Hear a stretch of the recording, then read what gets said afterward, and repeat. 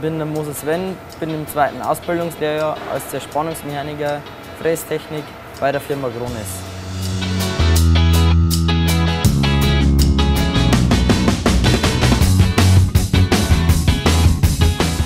Am Anfang war ich in der Grundausbildung Metall, danach sind wir zum konventionellen Fräsen gekommen, haben da einige Übungsstücke gefräst, Bohrungen haben wir gemacht und Passungen haben wir gefräst.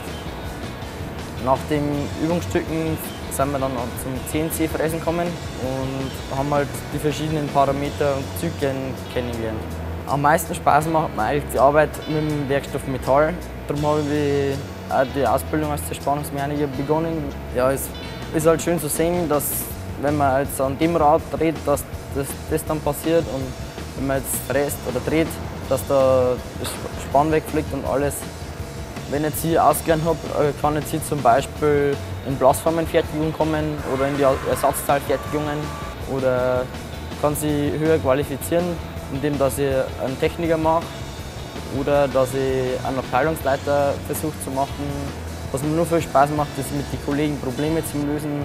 Wenn jetzt äh, ein Pro Programm geschrieben worden ist und das, Fehler passiert ist, dass man das Problem dann löst.